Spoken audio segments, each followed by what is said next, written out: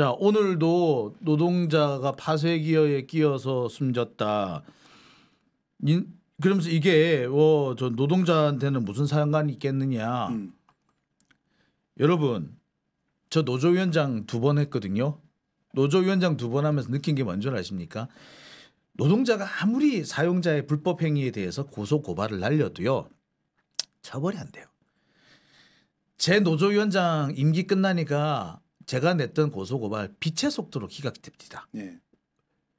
아무리 잘못한 사람도 어 노조위원장을 지방으로 내쫓고 자르고 해도요 어 이거 이, 어떻게 그런 일이 있을 수가 있어요?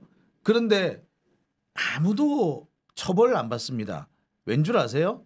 검사들이 기소를 안 하기 때문에 맞습니다. 검사들은 왜 기소 안 할까요? 검사들이 가진 자들의 편이기 때문에 그런 거예요. 적인 정의당 이 사이트에서 이거 보여주세요. 추미애 법무부 장관과 윤석열 검찰총장이 지금 권력 투쟁을 벌입니까? 여러분 저희 정의당은요 정신 똑바로 차려야 돼요. 내가 볼 때는 얘들 노동운동 아니 노조 활동도 제대로 안 해보고 뭐 그냥 노조 무슨 간부들만 하다 보니까 이딴 짓을 하는 것 같은데 정말 저로서는 피 맺히는 상황이 한두 번이 아니에요. 장용진이 예? 파이낸셜 뉴스에서 왜 그만뒀겠습니까? 예? 거기 잘 나가고 있던 법조팀장인데 왜 그만뒀겠어요? 예? 노조 위원장 임기가 끝나니까 딱 한 달 지나니까 어 엉뚱한 부서로 저, 저 전보를 시켜버리더라 좌천을 시켜버리더라 예? 부- 불교 방송에서 제가 왜 그만뒀겠어요 10년을 근무한 회사를 내가 왜 그만뒀겠어요 예?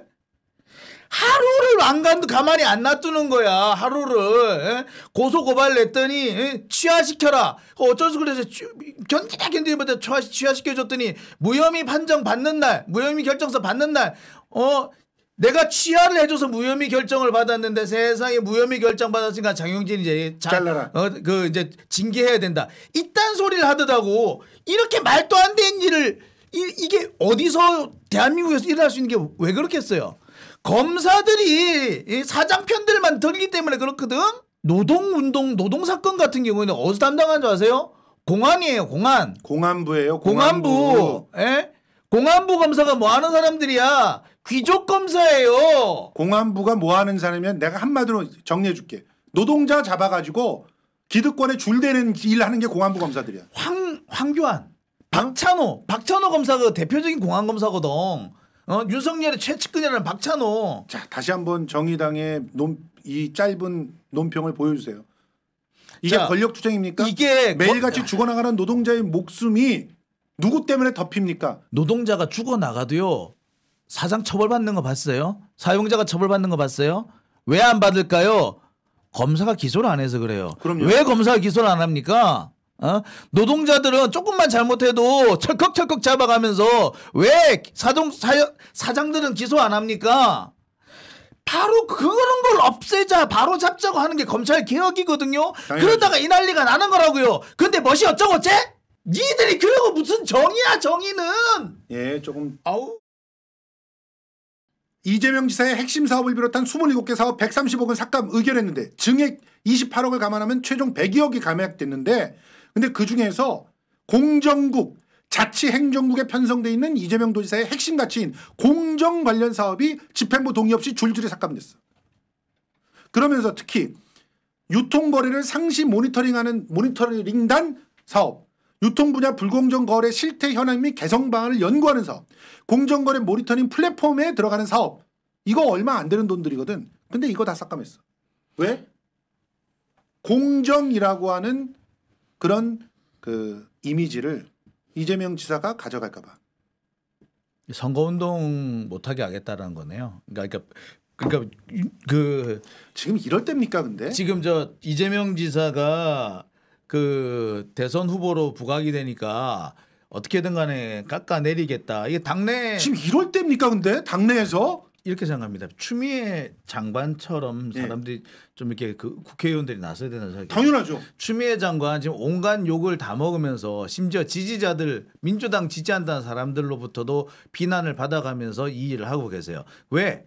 이건 꼭 해야 되는 일이거든요. 그렇지. 검찰의 힘을 빼놓지 않으면은요, 이거는 개혁이고 뭐고 없어요. 예? 지금 기득권 세력들이 마지막으로 집결돼 있는 곳이 검찰이에요. 검찰을 중심으로 뭉쳐 있단 말입니다.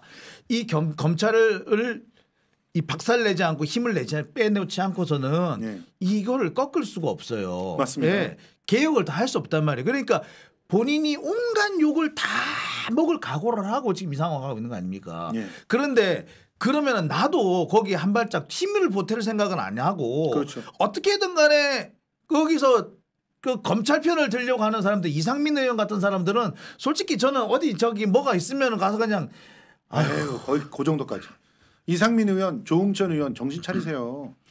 어? 진짜 국민들의 표 준 표가 아깝습니다. 표가. 의원님 어떻게 해서 자- 본인이 국회의원이 되셨습니까?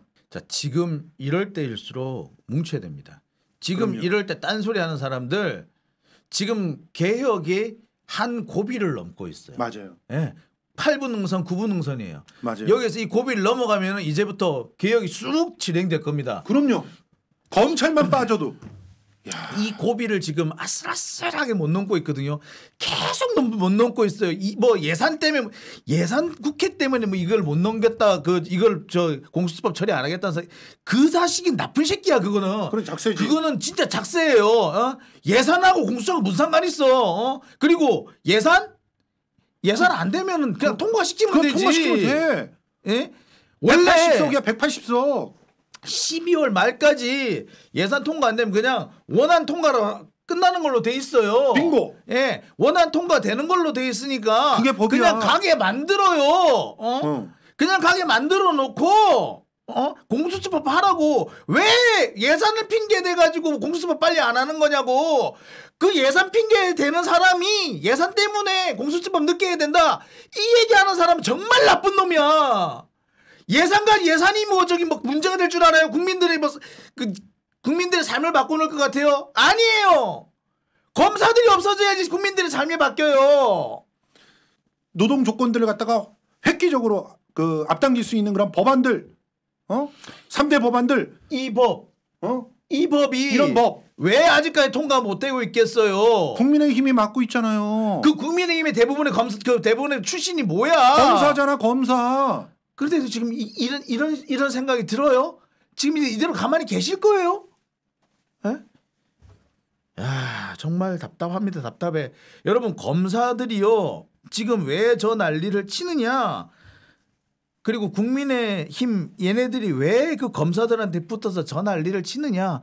이유는 간단해요. 음. 지금 모든 개혁 입법들이 바로 여기 검찰 개혁 입법에 딱 물려 있기 때문에 그렇죠. 그런 겁니다. 이게 넘어가면 다른 것도 줄줄이 넘어갈 것 같아서 그러니까 그래서 얘네들이 이걸 통과시켜야 됩니다. 이걸 어떻게든 간에 물고, 물고 늘어지는 거예요. 예.